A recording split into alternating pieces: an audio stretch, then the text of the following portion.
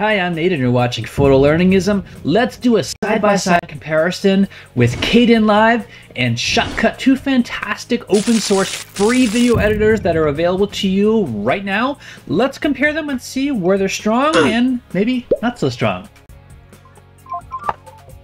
Alright, so good place to begin is what kinds of formats and projects do the tools support? So let's start right off the bat with that.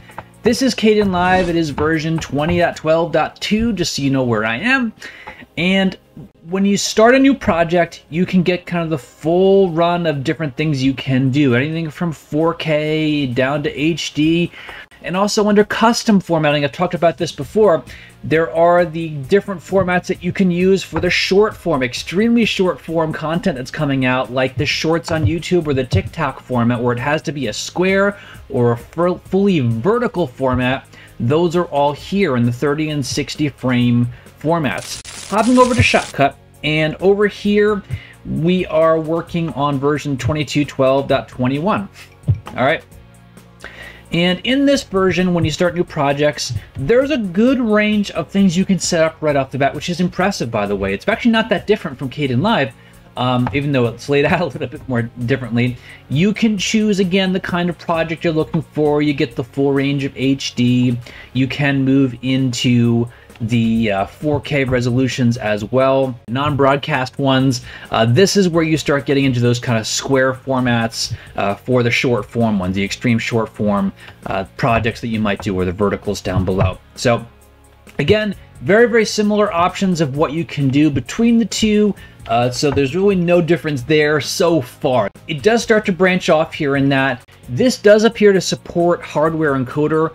Uh, solutions, uh, meaning reaching into the GPU. Um, I, upon configuring that, I was able to detect a compatible encoding uh, process for that. So we're going to try that out. I actually have not done this yet. This will be a learning experience for both of us. Getting into kind of the nitty gritty here, this is kind of the next step that I want to compare is, is how, how does it play?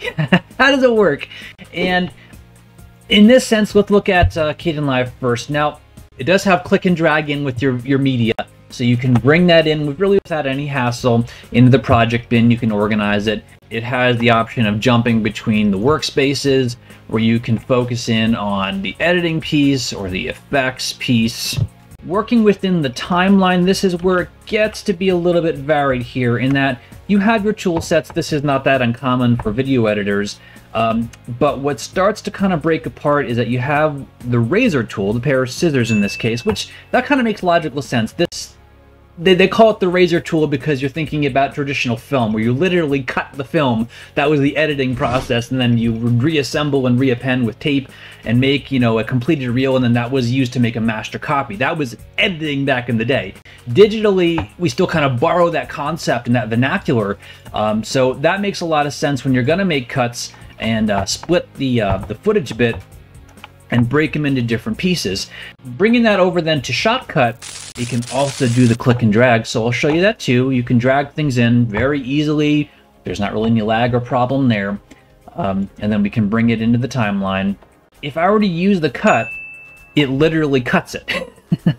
and that can be very confusing, especially if you've been using other video editors where typically the razor blade or the scissors is to make a, a split in the video. That's not quite so intuitive. If you're going to be doing cuts, the only way I can see to do that is to actually use the split at playhead.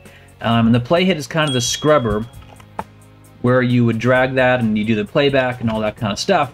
That's a big one though, because that's how you do editing. A lot of these other tools do play out very similarly. Otherwise, let's look at how you use effects. I'm gonna work on an effect here. It's called the transform. Under the effects tab, you've seen me go there before. Uh, I'm gonna look for just that, that transform effect.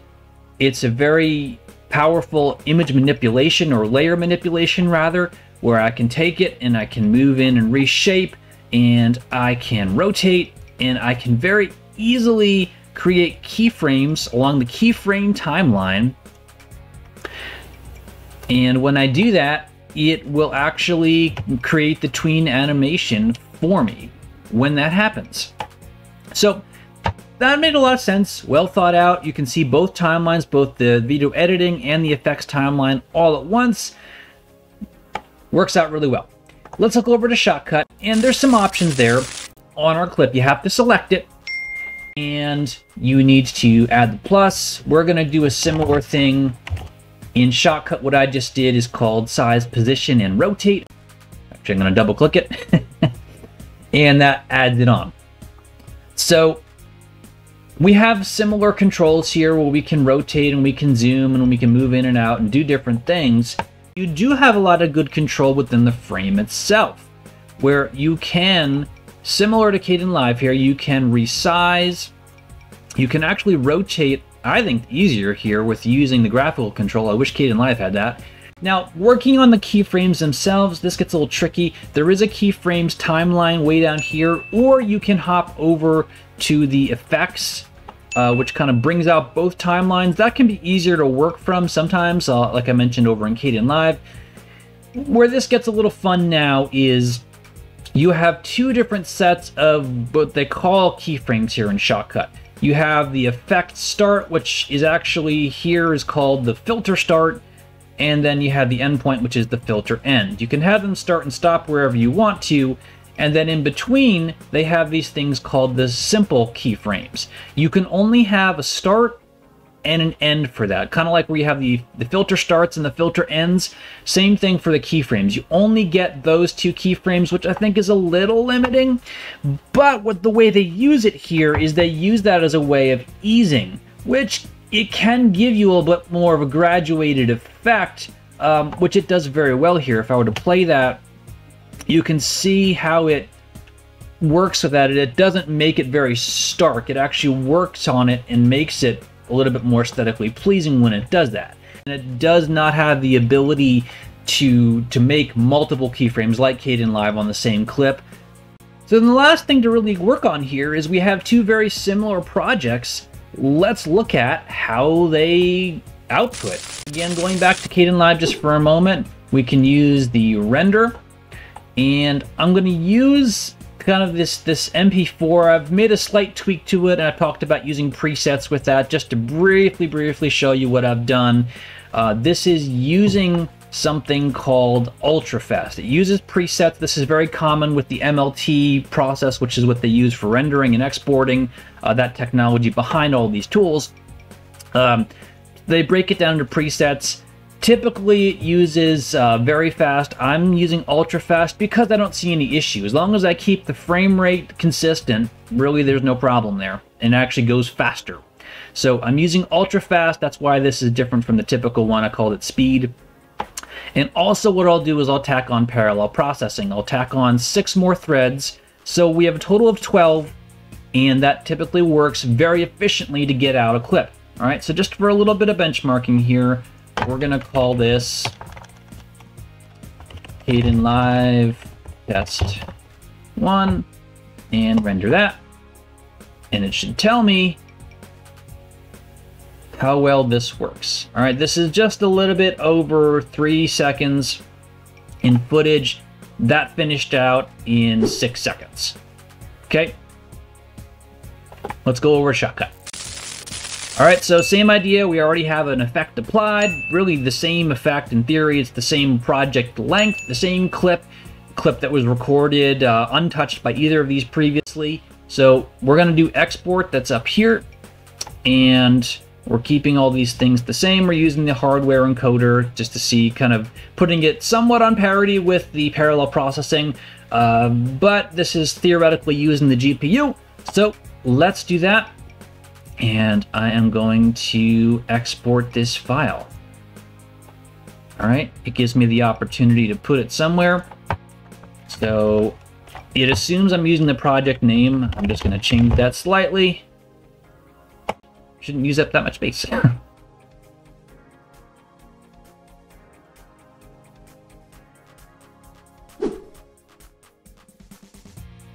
so that took 58 seconds there. But just in case, let's take one more look at it here. And what I want to do is I want to go into advanced. Okay, so parallel processing is on for this as well. Doesn't let me determine how many threads I can use. Here, this is what I want to do. So I want to just see if perhaps instead of medium, I want to see if maybe I can do ultra fast and see if that makes any difference here at all. Otherwise, do a second test here, shotcut test two.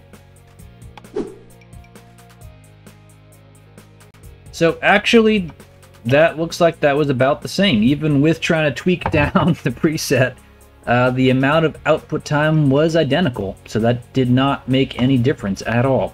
Devil's Advocate here, we'll try without hardware acceleration, just because I mentioned that was something new, we'll give it the benefit of the doubt. All the same things otherwise. Um, let's try one last time here.